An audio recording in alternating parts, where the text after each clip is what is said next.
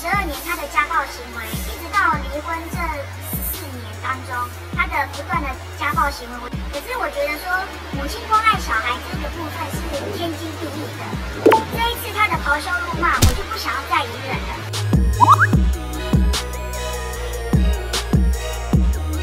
你说什么？说你哦，我现在会开始哦，会把你的电话封锁。哎，你最后一条线也会断掉。胁我就对了嘛。我没有在威胁你啊，因为要不要把你封锁，那是我可以决定的权利呀、你们就这是是意识哦，你说对我而言是陌生人呢、一句陌生人道尽彼此关系，这是一对离婚十四年的夫妻为了探视孩子的对话而暴怒咆哮的人是人民保姆。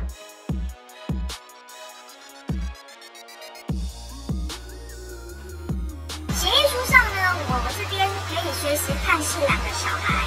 哦，假日呢，我也有一半的时间可以带小孩出游。可是，在九十六年四月十三号离婚之后呢，我频频遭到他们家呃长辈这边的阻挡，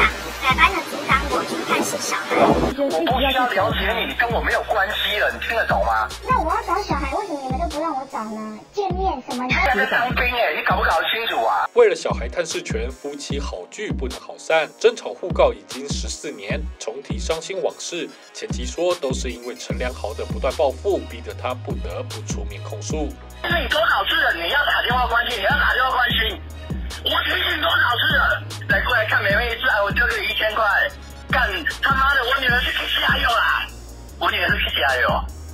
问题是为什么你要阻挡我跟小孩接触呢？见小孩不行。你你不要就是跟我抢我的啦，我没有啦。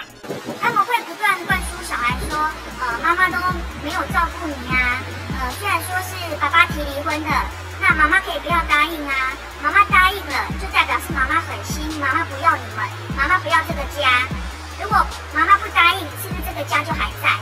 妻回想当初他之所以决定离婚，是饱受家暴多年，曾经申请保护令。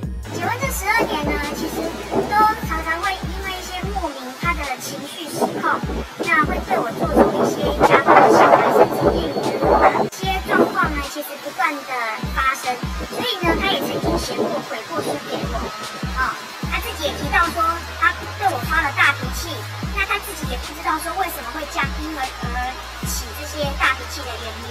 那甚至他也保证说，他不会再续前几次的错误。这个也是他自己后来亲笔写给我的一个悔过书。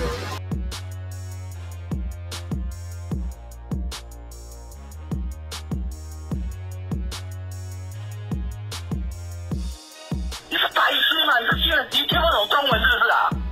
你没关系，你再继续嘛。我不需要了解你，跟我没有关系了，你听得懂吗？写悔过书的和电话里咆哮的似乎判若两人。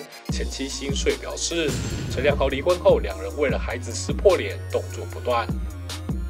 陈姓警官呢，于是就对我展开后面一系列的民事、刑事的一个提告，抚养费的一个求偿，还有渎职罪、刑案的部分，那还有一个妨碍名誉，然后还有伪造文书、断子法、家暴法一系列的刑案，他的目的其实就是在报复。是你多少次了？你要打电话关心，你要打电话关心。我提醒你多少次了？你们就是一直要百般阻挡我，不要让小孩跟我小孩接触。你在他最需要你的时候，你在干嘛？你在交男朋友哎、前妻怀疑陈良豪吃醋是拒绝母子见面的原因之一。为了儿子女儿，他不惜让家丑外扬，投诉警政署。结果让我很错愕的是，他们的保育总队侯队长来电，也是要再一次的呃避重就轻，针对诚信警官的一个咆哮怒骂三字音的录音档，他认为说那是他的私领域，好、不是在